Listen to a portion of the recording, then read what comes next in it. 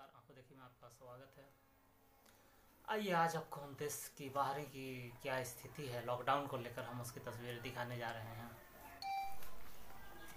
Oman की तस्वीरें, जिसमें ओमान के निजवा शहर से महज चार चार सौ किलोमीटर की दूरी पर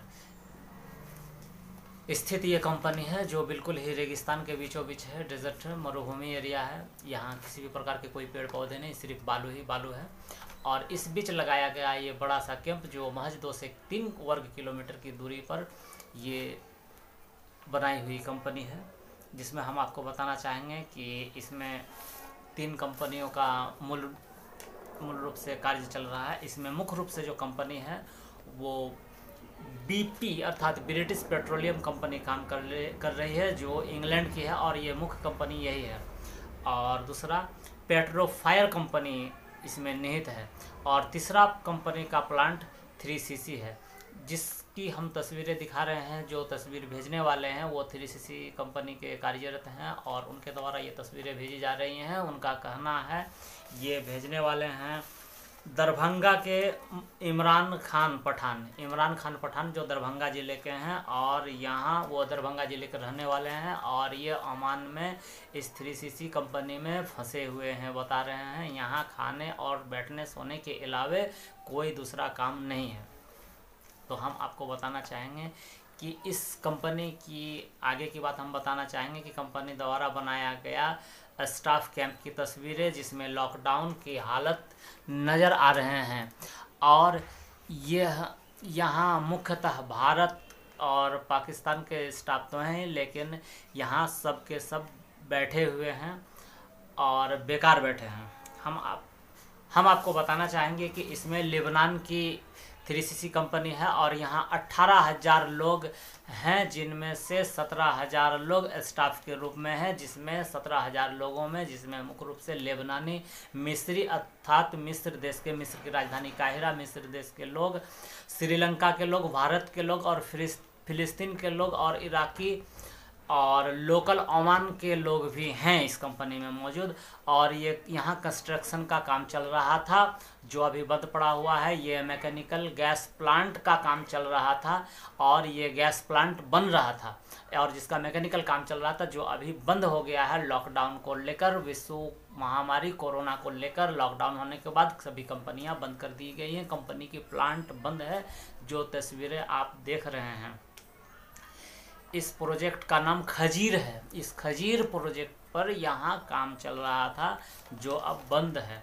और कॉन्ट्रैक्टर बीपी अर्थात ब्रिटिश पेट्रोलियम, इसका मुख्य कॉन्ट्रैक्टर के रूप में या मुख्य कंपनी के रूप में कंस्ट्रक्शन मुख्य कंस्ट्रक्शन के रूप में ब्रिटिश पेट्रोलियम कार्यरत है। जिसमें तीसरी कंपनी हम बताए, थ्री सी सी है, जिसमें दरभंगा के व्यक्ति काम कर रहे थे और उन्होंने ये तस्वीर भेजे हैं, जिसमें कि इनके द्वारा बताया जा रहा है कि बिहार, उत्तर प्रदेश, महाराष्ट्र के लोग यहाँ हैं और बिहार के मुख्यतः दो ज़िले, सिवान एवं गोपालगंज के बहुत सारे लोग यहाँ मौजूद हैं और अपने अपने कमरों में सिमटे हुए हैं। उत्तर पूर्व के, उत्तर प्रदेश के उत्तर प्रदेश के गोरखपुर, देवरिया एवं बलिया के लोग मुख्य रूप से उत्तर प्रदेश के ये तीन जिलों से लोग आते हैं जो अधिकतर हैं। और बिहार के इक्के दुक्के लोग, नवादा और जमुई के लोग भी मौजूद हैं यहाँ। यहाँ के लोगों का किसी भी प्रकार से आने जाने का अर्थात इस कंपनी कैंपस से जो कैंपस नज़र आ रही है चाहो दिशा से ये जो कैंप बनी हुई है, इस कैंप से बाहर जाना या किसी भी प्रकार से अंदर आना, ये सब कुछ मना ही है। पूर्णतः पाबंदी है। किसी का भी बाहर जाना या बाहर से अंदर आना, ये अभी लॉकडाउन में संभव नहीं है। महामारी को देखते हुए सभी लोगों को एक दूसरे से बिल्कुल अलग है। और यहाँ बाहरी व्यक्ति किसी भी कारण कैंप में नहीं आ सकते हैं और उन बाहरी व्यक्तियों पर भी पूर्ण पाबंदी है। कोई भी बाहरी व्यक्ति कैंप के अंदर नहीं आ सकता है। और यहाँ का मेस अर्थात भोजनालय का भोजनालय का भंडारा भी बहुत बड़ा है और ये भरा पड़ा है। खाने रहने की कोई दिक्कत नहीं है और मेस के पीछे लॉन्ड्री भी है। यहाँ हम बताना चाहेंगे कि खाने पीने की और कपड़े धुलाई की किसी भी प्रकार की कोई दिक्कत नहीं है। यहाँ समुचित रूप से सारा व्यवस्था मौजूद है। काफ़ी लंबे चौड़े भूभाग या फिर कहें रेगिस्तान में फैला है। ये कंपनी का क्वार्टर का जो क्षेत्र है, ये काफ़ी दूर तक फैला हुआ है। और इन क्वार्टरों को यहाँ के स्थानीय भाषा में खेमा कहते हैं। प्रोजेक्ट मटेरियल रखे पड़े हैं और काम बंद है। कंपनी का आदेश है कि खाओ और पड़े रहो, कुछ करना नहीं है। सिर्फ़ खाओ और पड़े रहो। ये तस्वीर आपके सामने में है और इधर उधर घूमना भी मना है, घूम नहीं सकते। कोई भी लोग यहाँ इधर उधर भटकते नज़र नहीं आ सकते और मान के चलिए कि संध्या होते ही, रात्रि होते ही जेल के तरफ़ अपने अपने कमरों में चले जाएँ और किसी तरह से इधर उधर नहीं जा सकते। और हम बताना चाहेंगे कि सफ़ाई कर्मी और रसोईया डॉक्टर्स आदि सभी कैंप में मौजूद हैं और सभी लोग अपने अपने कार्य को कर रहे हैं। इक्के दुक्के गाड़ी भी नज़र आ जाएँगे। आपको इस तस्वीर में चलता हुआ जो सफ़ाई कर्मी की गाड़ी है जो कूड़ा कचरा लेकर वो अपना किसी साइड में ले जा कर रख देते हैं या फिर उनका जो व्यवस्था होगा वो कर रहे हैं। तो चलने फिरने का भी आदेश किसी को नहीं है। कैंप में पूरी तरह से घूमने पर भी पाबंदी है। केवल आप आ, कमरे से बाहर निकले, खाना खाएँ और फिर मेस में भी जाएँ तो बहुत लॉकडाउन का हिसाब किताब पालन, दूरी सोशल जो डिस्टेंसिंग है, ये सिर्फ़ हमारे देश में नहीं, पूरे विश्व में लगी हुई है और ये ओमान की तस्वीरें दिखा रहे हैं, जहाँ सोशल डिस्टेंसिंग का बहुत, ज़्यादा बहुत कड़े नियमों के साथ पालन करवाए जा रहे हैं। और यहाँ इसी इसी कैंपस में कार्यालय रहने का जगह प्रोजेक्ट एक ही कैंपस में निहित है, सारी चीज़ें एक साथ है। और रात में जहाँ पहले लोग थिएटर का मज़ा लेते थे, अब नहीं ले पा रहे हैं। यहाँ इस कैंपस में बड़ा सा थिएटर भी है या फिर कहीं सिनेमा हॉल है, लेकिन टिकट नहीं लगता। बड़ा सा थिएटर है, जहाँ लोगों का इंटरटेन किया जाता है, और ख़ास करके रात्रि के समय यहाँ लोग सिनेमा देखते थे या इंटरटेन करते थे, लेकिन वो अब पूर्णतः बंद है। और जो यहाँ पर जो जिम हुआ करती थी। जिम भी आज पूरी तरह से बंद है। जिम में भी लोगों का प्रवेश निषेध है। और हम आपको बताना चाहेंगे कि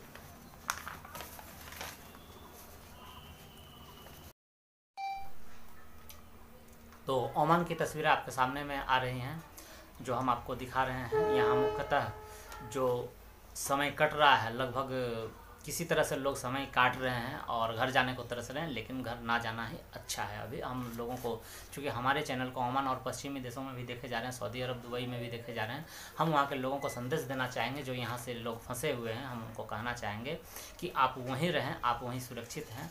हो सकता है आपके ट्रैवलिंग में, यात्रा के दौरान कहीं किसी प्रकार की आपको संक्रमण ना हो जाए, इसलिए आप वहीं रहें। और मैं ये जो दरभंगा के जो खान साहब, हम उनसे भी कहना चाहेंगे, इमरान खान जी, कि आप भी संयम बनाए रखें और अभी वहीं रहें, क्योंकि अभी संक्रमण और महामारी रुका नहीं है। जहाँ लोग घरों में सिमटे हुए हैं, या फिर कहिए कि खेमे में लोग सिमटे हुए हैं, कुछ बाहर इधर उधर भी लोग नज़र आ रहे हैं इस कैंपस में, जो घूमते फिरते हैं। क्योंकि दिन का समय है तो थोड़ा सा खाने पीने के बाद लोग घूम फिर भी लेते हैं, जो कुछ तस्वीरें इधर उधर से नज़र आ जाते हैं। और लोग पड़े पड़े थक जाते हैं, बोर हो रहे हैं। और सामने में बड़ी सी मस्जिद भी है, जहाँ अभी नमाज़ पर पाबंदी है, एक साथ नमाज़ नहीं पढ़ सकते। यहाँ प्रतिदिन बताया जा रहा है कि यहाँ प्रतिदिन सात से आठ हज़ार लोग एक साथ पाँचों वक्त की नमाज़ पढ़ा करते थे, जो आज पूर्णतः बंद है और मस्जिद भी बिल्कुल वीरान है, या फिर कहीं सन्नाटा है, सिर्फ़ अजान होती है, लोग अपने अपने कमरों में ही नमाज़ पढ़ते हैं। और ये सात से आठ हज़ार लोगों के होने के बावजूद भी बताया जा रहा है कि ये मस्जिद बहुत सारा मस्जिद का क्षेत्र खाली रह जाता है। यानी ये मस्जिद काफ़ी लंबी चौड़ी है, जो इसी कैंपस में है।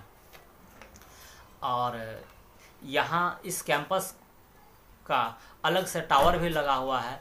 शहर से दूर रहने के कारण इस कंपनी में, इस कैंप में सारी सुविधाएँ प्रदान की गई है। टावर से लेकर अन्य सभी सुविधाएँ यहाँ दी गई हैं। पर लॉकडाउन में बाहर जाने की इजाज़त नहीं है। सारी सुविधाएँ हैं और सिर्फ़ और सिर्फ़ अगर इजाज़त नहीं है तो वो है कि बाहर नहीं जा सकते। कंपनी की सफ़ाई की गाड़ी, कचरा ढोने वाली गाड़ी, यहाँ थिएटर से लेकर के जो भी है जिम वगैरह सब का सब बंद पड़ा है। यहाँ सभी कमरों एवं गलियों की संख्या संख्या से ही संबोधित किए जाते हैं। इनके नंबर्स होते हैं और नंबर्स के हिसाब से लोग अपने अपने नंबर्स के हिसाब से नंबर के हिसाब से गलियों में और कमरे में रहते हैं लोग। और यहाँ एशियाई पूर्वी देशों के अधिकतर मजदूर रहते हैं। और अपने आप में ये कैंपस एक दुनिया बसाती है, ये एक अलग दुनिया बसी हुई है अपने आप में और बिल्कुल ही अनूठा प्रतीत होता है यहाँ के लोगों के लिए। लेकिन वहाँ जो लोग हैं, वो अपने परिवार से दूर हैं और उनको काफ़ी अच्छा नहीं लगता है और वो लोग अपने घर वालों को याद कर कर रोते हैं। तो हम कहना चाहेंगे कि आप रोए नहीं, बिल्कुल आप नॉर्मल रहें। बहुत जल्द हालात हमारे देश के, हमारे हिंदुस्तान के हालात बहुत जल्द अच्छे हो रहे हैं। हम अमान वाले से संदेश देना चाहेंगे कि आप यहाँ की चिंता छोड़ दें। आप अपने यहाँ की चिंता करें, चूँकि वहाँ बहुत सारे दोस्त, बहुत सारे देश के लोग होते हैं। चाइनीज़ मजदूर भी हैं बहुत सारे, जैसा कि आप ही ने बताया। तो आप कम से कम लोगों के संपर्क में आएँ और जो अपने देश के लोग हैं उनसे भी थोड़ा सा दूरी बन, सभी लोगों से दूरी बनाए हैं, लेकिन जो थोड़े से अपने देश के लोग हैं, उनके लिए सिंपैथी रखें और हालचाल जानते रहें, अपने देश का भी हालचाल जानते रहें। और हम अंत तस्वीरों के अंत में यही कहना चाहेंगे कि आप जब भी कहीं जाएँ, कहीं भी जाएँ तो जाने से पहले और जाने के बाद हाथ, पैर, मुँह सब धो लें, अच्छे तरह से धो लें और कैंप से बाहर ना ही जाएँ, ये हमारा भी हमारा भी यही राय है कि आप कैंप से बाहर नहीं जाएँ। आप लोग कैंप में बने रहें।